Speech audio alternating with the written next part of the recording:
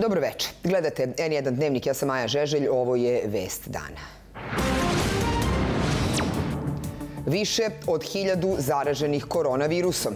Preminulo pet osoba. Šta planiraju nadležni i hoće li biti poštravanja epidemioloških mera? I ostale vesti i teme u dnevniku. U Bosni i Hercegovini od koronavirusa preminula 21 osoba, u Hrvatskoj 18. Svuda se čuje upozorenje da se bliži trenutak preopterećenosti zdravstvenih kapaciteta. Pred poslanicima sutra predlog o sastavu nove vlade. U javnosti i dalje oprečna mišljenja o neobičnoj podeli resora.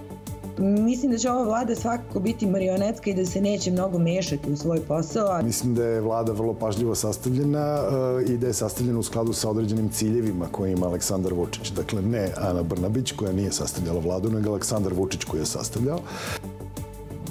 Sluge Božije, Aleksandra, Branislava, Darka, Miloša, Marka, Marija, Vladajuća stranka obeležila slavu uz maske švedski sto, ali i nepoštovanje mere da u zatvorenom prostoru bude do 30 ljudi. Novosadska policija bez objašnjenja zbog čega je pred maloletnom decom presrela, pretresla i privela čoveka zbog ironičnog komentara na Facebooku.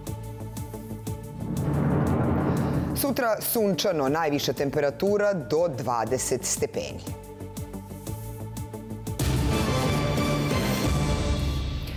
Prvi put kod nas od početka pandemije broj inficiranih u jednom danu prešao je brojku od hiljadu. Prema zvaničnim podacima, u poslednja 24 sata preminulo je pet osoba. Ukupan broj žrtava povećan je na 798, objavilo je Ministarstvo zdravlja. Od poslednjeg preseka stanja u Srbiji na koronavirus testirano je 9430 osoba, registrovana su 1053 nova slučaja zaraze. Hospitalizovane Hospitalizovane su 823 osobe, na respiratorima je 38 pacijenata. U Srbiji je od početka epidemije zvanično potvrđeno 40.880 slučajeva infekcije. Procenat smrtnosti je 1,95%. Epidemiološku situaciju danas prati naša Jelena Petrović. Jelena, šta su danas poručili epidemiolozi? Da li se neko oglasio posle 15 časova? Epidemiolog Predrag Kon je gostujući na RTS-u prokomentarisao najnovije brojke i rekao da će i narednih sedam dana biti veoma loše, a da povećanja broja umrlih tek dolazi, On se referisao na proleće i na uvođenje vanrednog stanja kada je reč o efikasnosti u suzbijanju širenja koronavirusa, iako je, kaže, svestan da će ga zbog toga mnogi kritikovati. Prethodno je na drugoj televiziji najavio obaranje, kako kaže, neslavnog rekorda koji je iznosio 757 novozaraženih. U jednom danu rekao je da se situacija epidemiološka pogoršava, a evo koliko bi sve to moglo da traje prema njegovoj proceni. Očekuje se taj porast da traje zaista još ove nedelje i sledeće, a sad ako uspemo da ga zaustavimo, da ga usporimo, onda možda i, i treća nedelja da ide taj porast, ali, ali onda je to e, bi bilo usporeno i to bi bilo dobro, što je ovako paradoksalno. Posle toga e, nadamo se da ćemo uspeti da zaravnimo tu krivu i da, da, da, da nekako stabilizujemo na, na vrlo visokom e, nivou, ali dotle očekujemo da se povećava broj i onih koji, slučajeva koji zahtevaju hospitalizaciju, punjenje bolnica. Dakle, imamo pred sobom jedan krajnje ozbiljan period. E, to važi za celu Srbiju, ali je trenutno e, naj, e, najozbiljnija situacija u Beogradu. Jasno je da ne možemo sedeti skrštenih ruku ako se ovaj broj i dalje povećava. Dakle, neke vrste daljih restrikcija su neophodne. Jelena, čuli smo od doktora Kona da je rekao da je situacija najozbiljnija u Beogradu. Da li ima nekih detalja?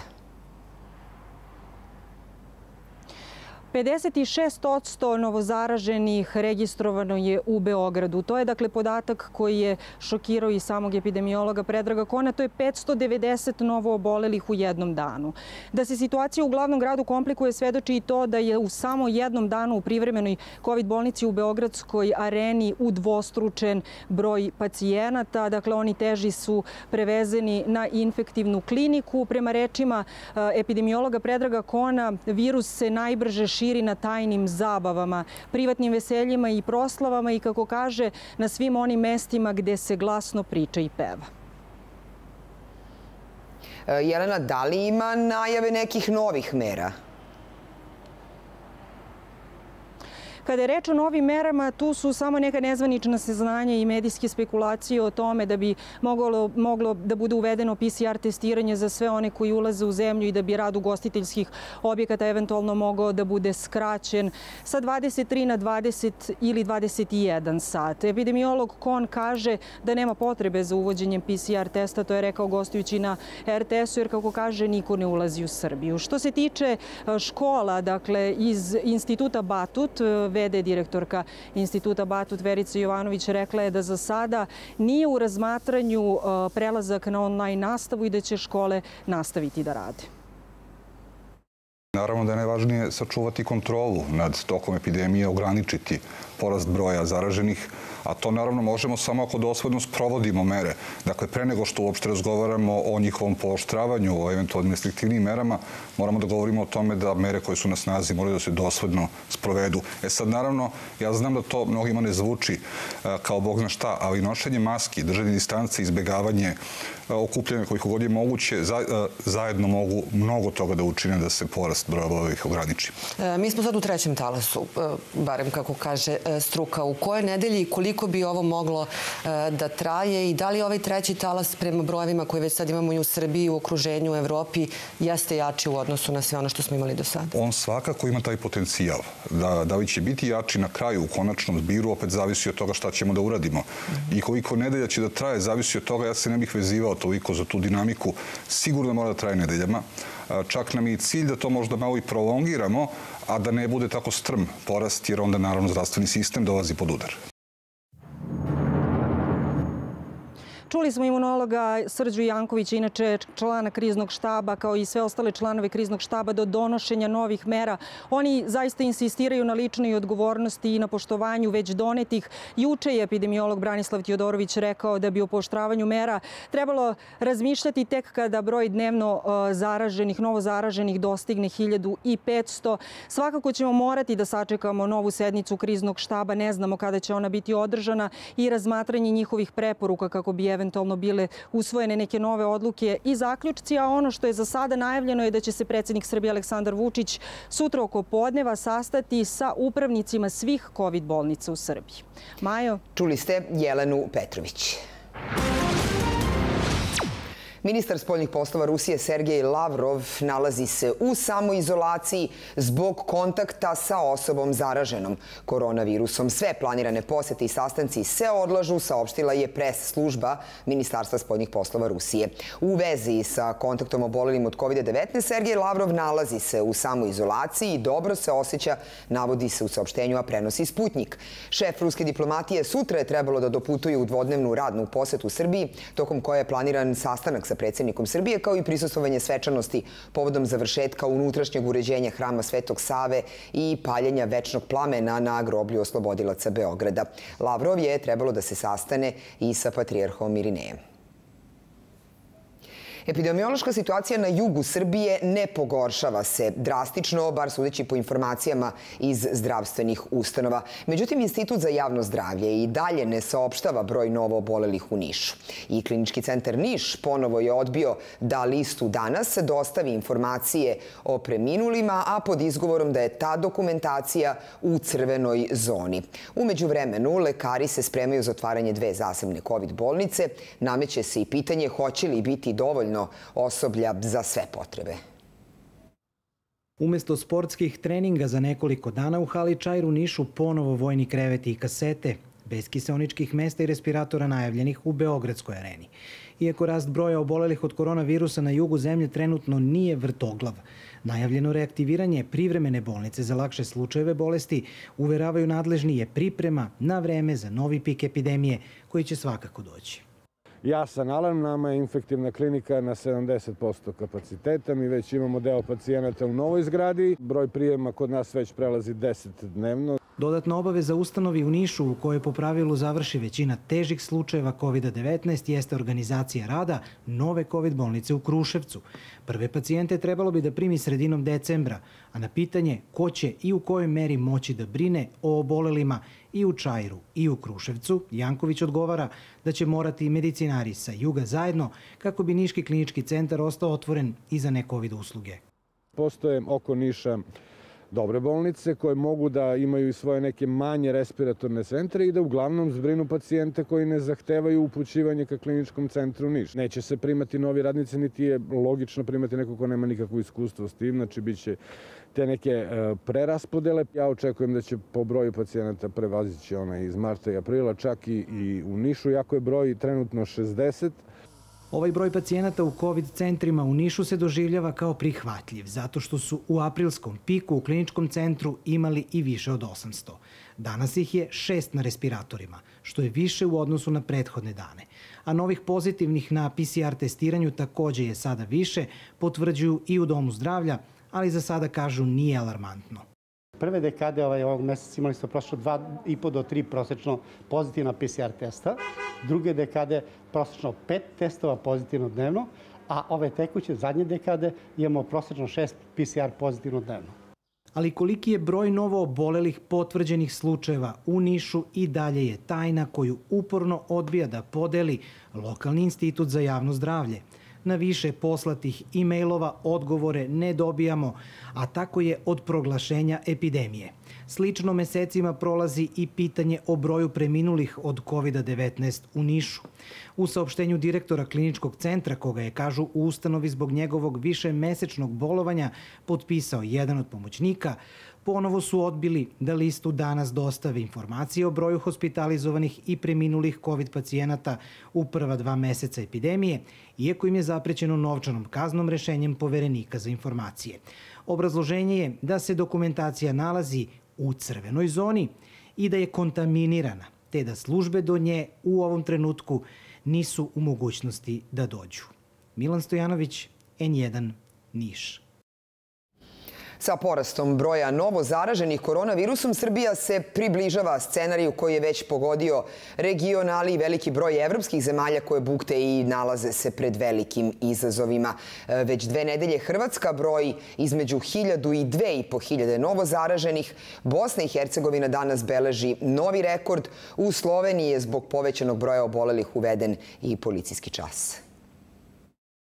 Hrvatska je zabeležila novi rekord od početka pandemije. U poslednje 24 sata od posledica koronavirusa umrlo je 18 osoba. Nasuprot tome manji je broj novozaraženih u odnosu na prethodne dane. Zagreb je dugo bio najkritičniji grad, međutim, danas može da se pohvali velikim padom novozaraženih, više nego dvostruko manje u odnosu na jučerašnji dan. Nadležni pozivaju na potpunu mobilizaciju zdravstvenog sistema.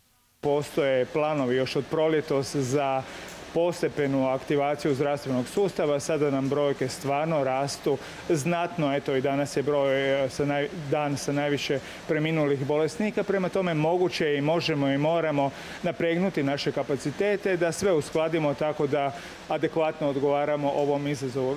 Sve više ljudi se testira na COVID-19, zbog čega su gužve na novo otvorenom punktu za testiranje u Zagrebu. Kolone automobila blokirale su saobraći danas. Po novim pravilima, kontakti pozitivnih osoba od danas će u samoizolaciji biti 10 dana umesto 14.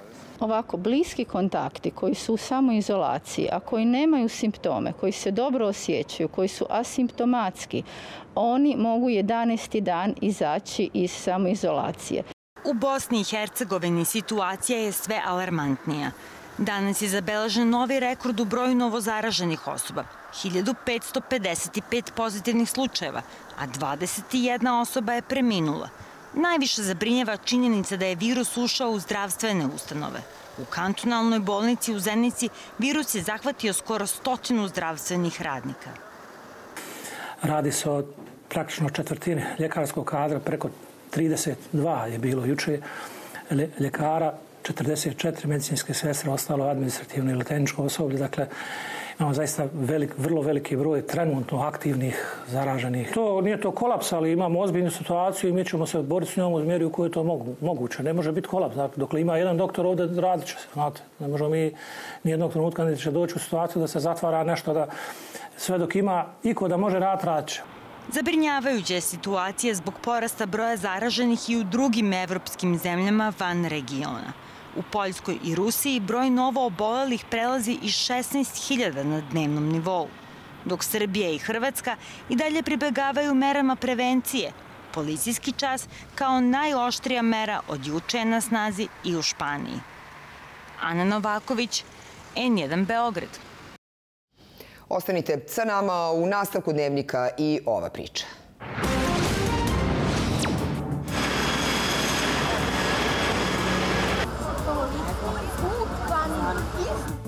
Ugašen požar u stanu na Dorćolu, radnici i susedne zgrade preko terase spasli 15-godišnju devojčicu.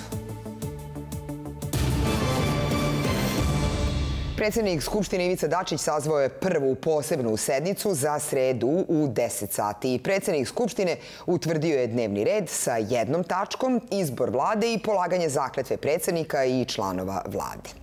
Skupština je juče usvojila zakon koji predviđa formiranje tri nova ministarstva u vladi, Ministarstvo za ljudska i manjinska prava i društveni dijalog, Ministarstvo za brigu o porodici i demografiju i Ministarstvo za brigu o selu. Za zakon o ministarstvima glasalo je 205 poslanika, niko nije bio protiv niti uzdržan. Predlog za sastav nove vlade stigao je u Skupštinu, čitanje premijerkinog ekspozea i glasanje zakazani su za sutra. Na spisku 21 resor i dva ministra bez portfelja.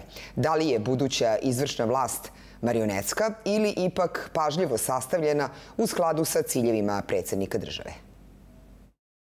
Drugi put se Brnabićeva potpisuje na ovom mestu. Novi tim biće brojniji od prethodnog, iako će utakmica kraće trajati. Nisam umro. Tako Rasim Ljajić, koga posle 20 godina nema na spisku, prema sobstvenom priznanju odgovara na poruke sa pitanjem šta ćeš sad.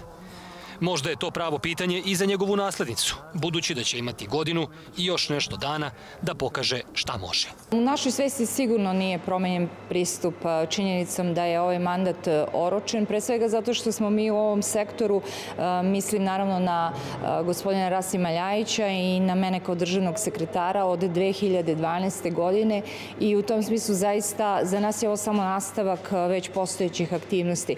A kako bi odgovorili oni koji ne nastavljaju već su na početku. Potpuno drugačijem početku.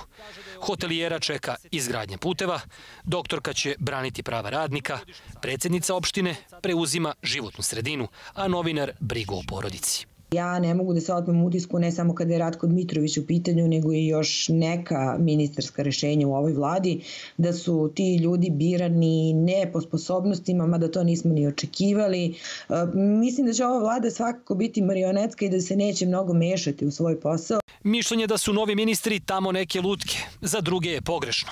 Vlada, kažu, jeste privremena, ali ima zadatu i unapred zanimljivu sudbinu – I razmena resora između Vulina i Stefanovića dugo je planirana, objašnjavaju u Centru za istraživačko novinarstvo. Mislim da je vlada vrlo pažljivo sastavljena eh, i da je sastavljena u skladu sa određenim ciljevima koje ima Aleksandar Vučić. Dakle, ne Ana Brnabić koja nije sastavljala vladu, nego Aleksandar Vučić koji je sastavljao. Tako da ovaj, mislim da ta rokada takođe nije slučaj. Ministarstvo unutrašnjih poslova, kao što smo u mnogo, mnogo različitih navrata videli, pa eto, na primjer, u aferi Krušik, ovaj, ima značajan uticaj i može mnogo toga, pre svega mislim da sakrije, da pokrije i da obavi za vlast, što nije baš legalno. Selitba Nikole Selakovića sa Andrićevog venca u diplomatiju protumačena je kao pozitivan mig Beograda Moskvi. Međutim, šta je sa pomjeranjem Vulina iz sektora odbrane, dovođenje Mihajlovićeve u polje energetike i bacanje socijalista u senku izvršne moći? Odnosi zemalja se ne menjaju preko noći, ali nesumnjivo je da je došlo do izvesnog zahlađenja u odnosima Moskva i Beograda, pre svega kao posledica Vučićevog besmislenog sporazuma u Vašingtonu, koji ne služi ničem sem predizbornim interesima Donalda Trumpa. Poslanici će sutra dizati ruke za ove ljude. Pet ministara ostalo je svoj na svome. Pet je zamenilo resor. Od starih lica tu je i jedan povratnik, a deset imena je novo u izvršnoj vlasti. Da li je ili ne bilo rata u SPS-u oko podele malog kolača, tek socijalisti su prelomili da Ružiću pripadne prosveta, a da Novica Tončev bude ministar bez portfelja. Poslednje pridodato ime je Nenad Popović. Produžen mu je mandat bez portfelja. A naprednjaci ministri koji su danas lomili slavski kolač, za medije prelomili bez reči dok nas Skupština ne izglasa. Nenad Nešić, N1, Beograd. U Skupštini Srbije gotovo i da nema opozicije, ali to ne znači da rasprave nisu žustre. Više od 200 poslanika vladajuće većine oštro kritikuje nekolicinu poslanika manjina, ali i opoziciju koja nije ni učestvovala na izborima. Činjenica da je retorika otišla u krajnost čak i u ovakvom sastavu Skupštine pokazuje da je dijalog neophodan, ocenjuju analitičari. Oni koji su strahovali da će sednice parlamenta biti kratke jer u poslaničkim klupama sedi više od 200 poslanika vladajuće većine mogu da odahnu. Amandman poslaničke grupe Ujedinjene doline SDA Sančaka u kome je predloženo da se u nazivu Ministarstva za državnu upravu i lokalnu samoupravu doda i manjinska samouprava bio je povod za raspravu koja je trajala satima. U pitanju, nije u pitanju jedna riječ, u pitanju je samo povod koji su oni iskoristili, kao što rekoh, za izlive mržnje prema drugim i prema drugačijim, a naročito ukoliko to drugačije mišljenje dolazi od predstavnika e, nacionalnih manjina, u ovom slučaju Albanaca i Bošnjaka. Kada tema nije amandman koji je podnela grupa od šest poslanika manjina, diskusije se najčešće i sa najvećim žarom vodi o onima koji nisu tu, odnosno o opoziciji koja je bojkotovala izbore. Sada imaju problem sobstvenog identiteta, oni bez mržnje prema nekome drugačijem, bez dakle e, proganjanja nekoga ko je opozicija, ne mogu da funkcionišu i nemaju šta da kažu i zato je tolika kriza u ovom lažnom parlamentu jer im nedostaje neko koga bi maltretirali maltretirali, kome bi isključivali mikrofon, koga bi izbacivali sa sednica i koga bi ljagali onim svojim negativnim kampanjama. I ovo je jedan od pokazatelja da je dijalog neophodan, kaže Milan Antonijević iz Fondacije za otvoreno društvo. Retorika i tonovi su otišli u krajnjost čak i u ovakvom sastavu Skupštine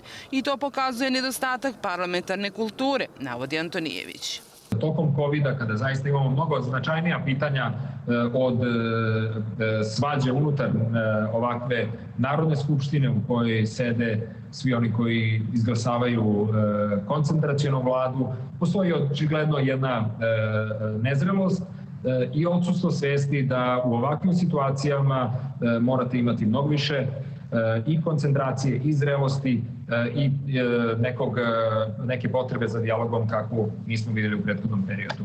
Kada se govori o dijalogu, uglavnom se misli na izborne uslove i on će se, veruje Antonijević, voditi pod pokroviteljstvom Evropske unije. On navodi da je osim o izbornim uslovima potreban dijalog o svim drugim pitanjima zbog kojih je duboko podeljeno srpsko društvo. Tatjana Aleksić, N1 Beograd. U prostorijama Srpske napredne stranke na Novom Beogradu uz prisustvo funkcionera stranke sečenjem slavskog kolača naprednjaci su obeležili stranačku slavu Sveta Petka. I to sve pored epidemiološke mere da u otvorenom kao i zatvorenom prostoru nema okupljanja više od 30 ljudi. Amin, amin, smijoti mučenici, že dobre stradaše slovaše, Jegože veličajuše njegovo.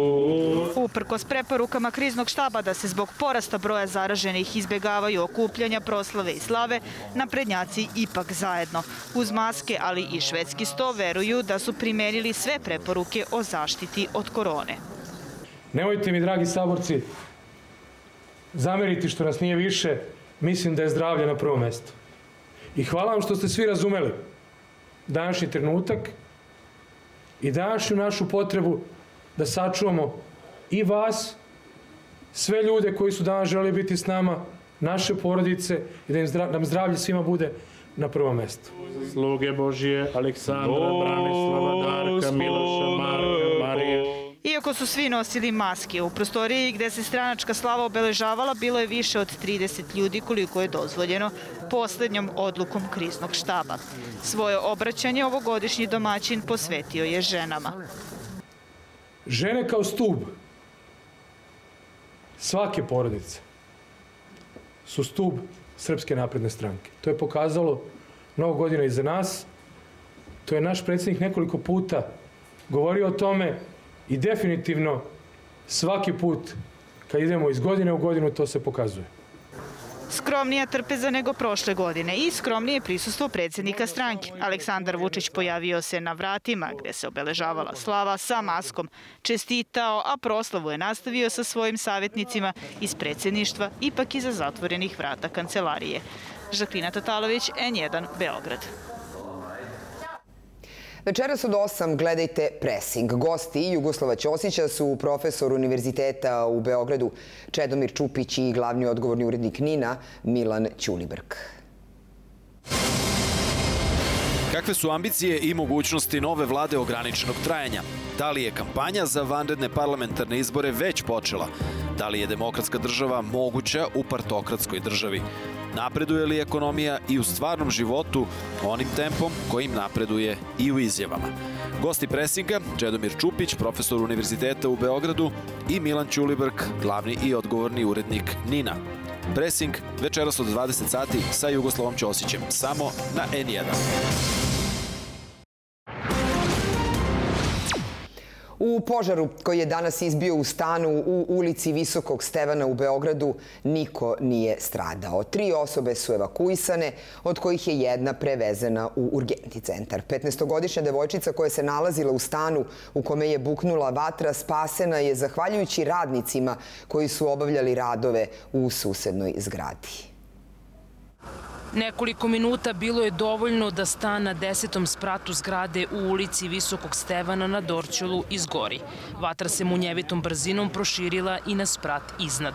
Više od 20 vatrogasaca učestvovale u gašenju vatre, koja je bila ugašena posle više od dva sata. Mene je komšinica pozvala i rekla mi je da, da gori u zgradi. Ja nisam čula, završavala sam ručak. Uh, sišla sam brzo sa decom, dvoje starije dece je došlo iz škole, uh, mlađe je uvek bio u školi, sišli smo dole i videli smo da devojčica stoji gore i da vrišti, da je, mislim, strašno je bilo. 15-godišnja devojčica koja se nalazila na terasi stana u kom je buknuo požar preživela je zahvaljujući radnicima koji su u susednoj zgradi obavljali molerske radove. Na fotografiji koja se pojavila na društvenim mrežama vidi se kako su radnici jednog od kolega vezali kanapom da bi ga osigurali, nakon čega je on prihvatio devojčicu. Momci sa zgrade preko puta su videli šta se dešava i brzo su došli pre vatrogasaca da joj, da joj pomognu. Spustili su je nekako na terasu ispod, tako da ovaj, hvala Bogu da, da, da je živa i nadam se da će biti dobro. Kako je nijedan nezvanično saznaje, devojčica je zbog zadobijenih povreda prevezena u bolnicu. Iz MUPA kažu da su tri osobe evakuisane i da nastradalih nema. Šta je uzrok požara još uvek nije poznato jer je istraga u toku. Jelena Mirković, N1, Beograd. Slučaj postupanja Novosadske policije, koja je u nedelju u centru grada presrela i grubo pretresla čoveka u prisustvu maloletne dece, a zbog komentara na društvenim mrežama izazvao je brojne reakcije. Pravnici iz oblasti ljudskih prava od policije traže objašnjenja. Opozicione stranke slučaj nazivaju zastrašivanjem Vučićevih neistomišljenika. A porodica postavlja pitanje kako su znali ko je i gde je i zašto nas zastrašuju. Ma predivno. Tako je glasio komentar na društvenim mrežama na vest o ranjavanju policajca zbog kog je interventna policija rešila da interveniše u strogom centru Novog Sada. Oni su sedeli ovde na klupi, klinci su se tu vozikali oko, oko spomenika. Saša sedeo na telefonu i kaže, posle par minuta je odande naišao džip, policijski i stao tik ovako iza klupe na kojoj on sedeo. Prišli su njenom suprugu Aleksandru Ostojiću dok je bio sa decom, jednim četvorogodišnjakom i njegovom dve godine starijom sestrom. Nakon što su zatražili da isprazni džepove, usledio je grubi pretrez uz jasnu poruku zašto im je baš on meta. On je njega odmah pitao je li mangupe ti bi nas mrtve. I na to moj muž odgovori, kaže ne, zašto bih? A on kaže, znaš ti zašto? I znaš zašto smo ovde? On odgovara zbog moje supruge. A on kaže, ne, ne, ne, znaš ti šta si pisao, ti znaš kako izgledao moj kolega posle ranjavanja. Ksenija, koja inače često na društvenim mrežama iznosi kritičke komentare na aktualnu političku situaciju, priča da je tog popodneva do centra grada stigla najbrže što je mogla. Supruga su ubrzo nakon toga Maricom odveli u policijsku stanicu jer nije imao lična dokumenta.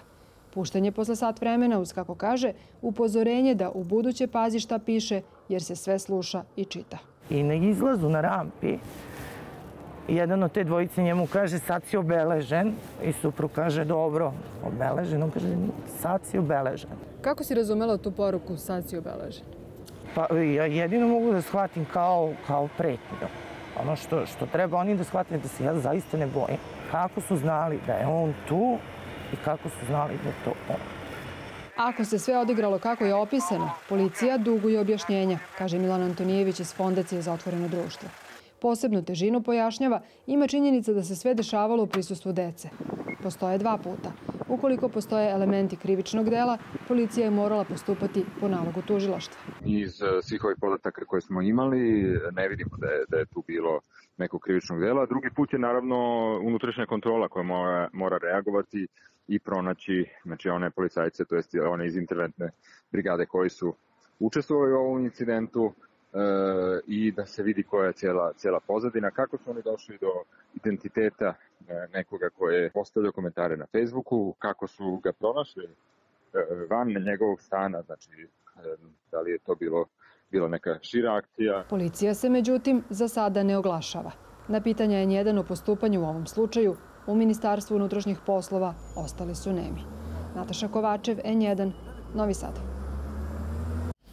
Potpredsednik stranke Slobode i pravde Dejan Bulatović održao je konferenciju za medije na kojoj je poručio da se sprovodi ozbiljna tortura nad njegovim prijateljem Zoranom Radmilovićem, koji je u pritvoru zbog sumnje da je pisao preteće grafite na Bulatovićevoj kući. Kaže i da taj slučaj pokazuje da su u Srbiji ukinuti sloboda, pravda i pravo. Inače, obraćanje novinarima bilo je sve vreme ometano, na šta policija nije reagovala, iako je Bulatović to od njih u jednom trenutku zatražio. Ja moram sad da vam kažem, pogledajte šta oni rade. Čak ne možemo da održamo ni konferenciju za medije, a da oni to ne obstruiraju. Oni su poslali Simu Spasića jasno kako bi se istina u Srbiji što manje čula ili uopšte da se ne čuje. Ono što želim da vam kažem da je danas u već evo 17. dan u pritvoru moj prijatelj Zoran Radmilović koji je osumničen od strane policije da je on napisao fašističke grafite na mojoj kući, na fasadi moje kuće, što zaista je apsolutno neprihvatljivo. Zakon o ministarstvima trebalo je da bude tehnički i proceduralno jednostavan zadatak za novi saziv parlamenta, međutim Skupština Srbije uspela je da taj tehnički posao iskomplikuje i da usvajanjem amandmana koji se odnosi na neke nadležnosti Ministarstva pravde stvori potencijalno veliki problem. Kako ZN1 kaže programski direktor inicijative A11 Danilo Ćurčić, praćenje i izvršenje presude Evropskog suda za ljudska prava ostalo je van bilo čije nadležnosti, odnosno odgovornosti jedan amandman i izmena tek nekoliko reči u tekstu zakona o ministarstvima ukida mehanizam kojim je do sada praćeno sprovođenje presuda Evropskog suda za ljudska prava. Možemo samo očekivati da će situacija biti još gora nego što je, nego što je bilo. Odnosno da će građani zapravo i u onim pitanjima koje su sistemskog karaktera, u onim pitanjima kojima se zahteva izmena propisa da bi došli do suglašavanja sa praksom, Evropskog suda za ljudska prava imati još veće probleme i još duže čekati na to da Republika Srbija zapravo sprovede svoje obaveze prema prema presudama Evropskog suda za ljudska prava. Ipak ne slažu se svi u nevladinom sektoru da će nužno biti posledica usvajanja amandmana o nadležnostima Ministarstva pravde. Komitet pravnika za ljudska prava navodi da je to pitanje regulisano drugim zakonom onim o javnom pravobranilaštvu. Usvajanjem ovog amandmana zastupanje je prešlo na sistem državnog pravobranilaštva koje je sada jedini organ za nadzor. Međutim, i predsjednica Jukoma se slaže da je od 2014. sistem nadzora slabio umesto da jača. Milan Antonijević iz Fonda za otvoreno društvo pak kaže da je amandman koji isključuje Ministarstvo pravde i sistema nadzora presude Evropskog suda stvorio mnogo nejasnoća. Da to na dva nivoa negde oštećuje građane. E, nismo dobili pojašnjenje na koji način će se omogućiti da presude budu dostupne, vi e, imate obavezu njihovog objavljivanja u službenom glasniku, e, ali ne očekujemo zaista da se može to jednostavno pretraživati, vi morate znati tačan broj službenog glasnika i tačan datum kada je to objavljeno. Poslanici Srpske napredne stranke nezvanično su nam rekli tokom rasprave u parlamentu u ponedeljak da se amandmanom ne ukida nadzor niti se ugrožava sistem obaveštavanja o presudama Evropskog suda za ljudska prava, već se te nadležnosti prebacuju nezavisnom i samostalnom organu pravosuđa javnom pravobranilaštvu. Petar Gajić, N1 Beograd. Gledajte dnevnik, evo o čemu pričamo do kraja. Hiljadu stanara naselja Veliki Crljeni u blizini termoelektrane Kolubara zbog remonta toplovoda do 10. novembra bez grejenja. Deca iz istog razloga ne idu u školu. Kao što vidite, evo u majici smo sad i prinuđeni smo da objašnjavamo deci da ne idu u školu zbog grejanja. Danas je u Cvićevoj ulici u Beogradu došlo do sudara trolejbusa i više vozila. Kako prenosi RTS, trolejbus je izgubio kontrolu i prvo je naleteo na jedno vozilo, zatim je teško oštetio tri vozila na kolovozu i još tri na parkingu. Devojka i mladić lakše su povređeni, hitna pomoć ih je prevezla u urgentni centar. Mala Lana Jovanović, koja je obolela od teške bolesti spinalne atrofije tip 1, prikupila je dovoljno sredstava za najskuplji lek na svetu Zolgensma i hospitalizaciju u Sjedinim američkim državama. Dragi naši pomoćenici, novac je skupljen, avion sređen, radost je ogromna, a zahvalnost večna. Hvala vam svima, dobri ljudi, hvala za svaki odvojeni dinar. Hvala za svaki uloženi trud. Hvala jer vi svi Lanini ste anđeli čuvari. To je saopšteno na Facebook stranici za Laninu životnu bitku. Mala Lana koja još nema ni godinu dana ipak će morati da sačeka dok ne primi ovde dostupan lek Spinrazu. Thank you. Senat Sjedinjenih američkih država, duboko podeljen po partijskoj liniji, potvrdio je republikanskom većinom Amy Coney Barrett za sudiju Vrhovnog suda sa 52 glasa za i 48 protiv. Beret je treći sudija u devetočlanom sudu koji je nominovao predsednik Donald Trump i značajno pomera ideološki balans prema konzervativnoj većini tog tela od 6 prema 3. Republikanska senatorka Susan Collins jedina se pridružila svim demokratama u Senatu, glasajući protiv nominacije sudije Beret. Demokrati upozoravaju da bi Beret mogla da sruši Obama Care, zakon koji je milionima Amerikanaca omogućio besplatno lečenje. Kažu i da će sud njenim imenovanjem skrenuti oštro u desno u vezi pitanja pobačaja, kontrole oružja ili prava homoseksualaca. U 18 država Evropske unije Europol je pokrenuo kampanju kojom traži pomoć javnosti u pronalaženju 18 seksualnih prestupnika. Među njima su jedan kosovski albanac i jedan Hrvat. Detalje ima evropski dopisnik N1 Nikola Radišić. Svaka dva minuta u Evropskoj uniji neko prijavi silovanje ili napad sa seksualnom konotacijom. Zbog toga je Europol pokrenuo kampanju kojom želi da usmeri pažnju javnosti na crnu statistiku. Na svom sajtu mostwanted.eu uz najtraženije kriminalce objavljene su fotografije seksualnih predatora označene crvenom bojom, koje će naredne četiri nedelje cirkulisati i društvenim mrežama, ali i medijima. Cilj je da se uz pomoć javnosti dođe do 18 ljudi, državljana Belgije, Francuske, Nemačke, Bugarske, Litvanije i drugih država Evrope, ali i Azije i Afrike, koji su uglavnom osuđeni zbog silovanja ili napada na maloletnike.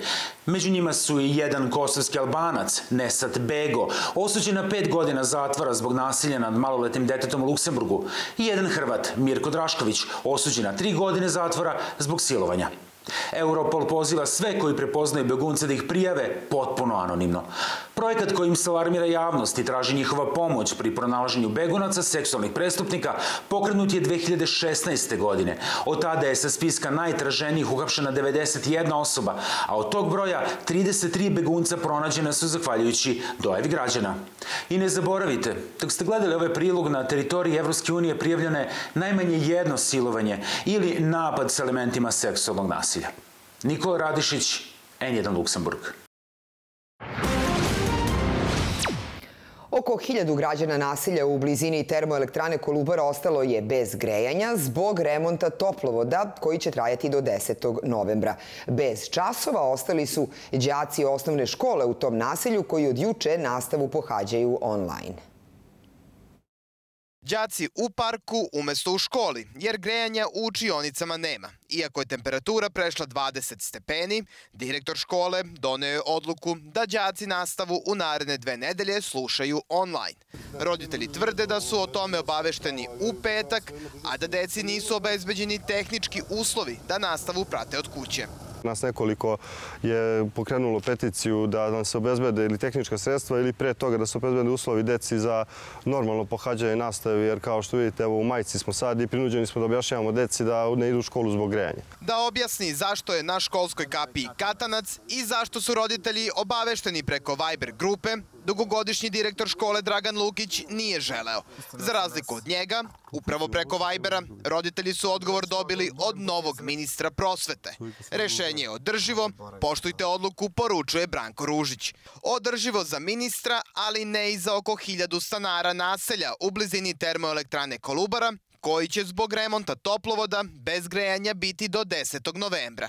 Nekada zaposlen u Kolubari, danas penzioner, pred kamere N1 u košulji kratkih rukava, ali samo dok sunce sija.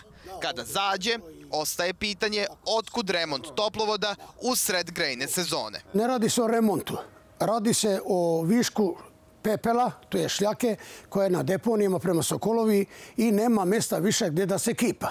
Zato je to zaustavljeno. Kad će se to okloniti, da će se okloniti, ne znam, ali oni su imali celo leto ispred sebe, proleće. Vjerojatno da niko nije ne razmišljao. Zašto je grejanje isključeno samo dve nedelje nakon početka grejanja sezone i zašto radovi nisu završeni tokom leta, pokušali smo da saznamo ovde u termoelektrani Kolubara. Međutim, samo su kratko poručili da niko od zaposlenih nije nadležan da daje izjave povodom ovog slučaja i uputili su nas na službu za odnose sa javnošću elektroprivrede Srbije. Međutim, odgovore ni od njih nismo dobili. Filip Lukić, N1, Veliki Crljeni. Novinari, kolege i saradnici oprostili su se od Dušana Mitrovića, jednog od osnivača i vlasnika lista Danas, koji je preminuo 20. oktobra.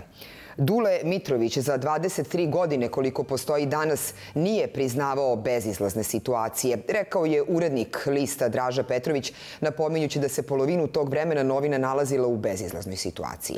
Petrović je dodao i da je direktor Dangrafa, kao i Grujica Spasović, spasao svoju dušu zato što je Srbiji podario dnevni list Danas. Spasović, koji je preminuo juče, bio je prvi urednik Danasa pitanju je bio jedan samoubilački poduhvat za opšte dobro, pa su nas i Dula i Grva napustili u razmaku od 7 dana. I nisu se preselili u nebesku redakciju, kako vole da kažu na nekim drugim komemoracijama, zato što bi me vratno i Dula i Grva iskritikovali da na njihovoj komemoraciji izgovorim jednu takvu frazu kakva je selidba u takozvanu nebesku redakciju. Njih dvojica su ostali sa nama u ovoj zemaljskoj redakciji, zato što su iza sebe ostavili jedan žilav list koji će biti najlepši spomenik njima i svim drugim osnivačima za uvek. Sarađujući s njim i gledajući i prateći kako vodi Dangraf, odnosno danas, stekao sam uverenje da je Dule direktor i vlasnik medija kakvog svaki novinar može poželiti. Savestan i marljiv, razuman i širokogrud, odgovoran i štedljiv, pronalazio je načine da novine nesmetano izlaze i da zarade ali nikada mu samo profit nije bio u fokusu, već je kao i mi novinari imao misiju i gledao je, pored zarade, da danas bude ozbiljan i odgovoran list, ogledalo bolje Srbije. Sledi prognoza vremena. Dobroveče, poštovani gledalci. Još jedan sunčan i iznad proseka topao dan je za nama. U najtoplijem delu dana živa u termometru nije se spuštala ispod 20. podeljka. I sutra će biti relativno toplo, ali sa temperaturom par stepeni nižom nego danas. Zašto? To najbolje pokazuje temperaturna mapa na kojoj se vidi da će doći do blagog spuštanja vazduha sa severa Evrope. U satima pred nama pretežno vedro i suva. Oko 21 čas treba računati na maglu i sumaglicu. Vozači naročito jer će vidljivost ponegde biti i manja od 500 metara. Slično kao i danas, magla će se po kotlinama i dolinama zadržati i tokom jutra. Nakon njenog podizanja biće sunčano i vedro širom Srbije. Magla će se sutra podizati sporo jer neće biti vetra ili će biti jako slab. U većem delu zemlje duvaće slab vetar promenljivog pravca. Minimalna jutarnja temperatura kretaće se od 5 do 10 stepeni. Tokom dana biće prijetno toplo. Najviša dnevna biće u intervalu od 18 do 20 stepeni. U četvrtak prolazno oblačenje koje će proći bez kiše. Prve kišne kapi očekuju se u noći na petak kada će i malo osvežiti. Za dane vikenda ulazimo u nešto svežiji period, ali i dalje bez jutarnjih mrazeva. Maksimalna temperatura biće od 14 do 16 stepeni. Slede vesti iz sveta. Iz Japana stižu dobre vesti. Japan je najavio da će do 2050. godine biti ugljenično neutralan. Postavljanje cilja za dostizanje ugljenične neutralnosti veoma je bitno za zemlje koji su veliki emiteri gasova sa efektom staklene bašte, kao što je slučaj sa Japanom. Naime, Japan je peti najveći emiter na svetu. Japan je nakon incidenta u Fukushimi odlučio da smanji udeo nuklearnih elektrana u proizvodnji električne energije, a kao zamena su planirane čak 22 nove termoelektrane na ugalj. Analitičari smatraju da ovakva odluka verovatno znači da će Japan morati i da zaustavi izgradnju i finansiranje novih elektrana na ugalj u inostranstvu. Poštovani gledalci, hvala vam na pažnji. Želim vam prijatno večer uz program N1 televizije. Vi ste gledali Dnevnik, pratite nas na sajtu, aplikaciji i društvenim mrežama i ostanite uz N1.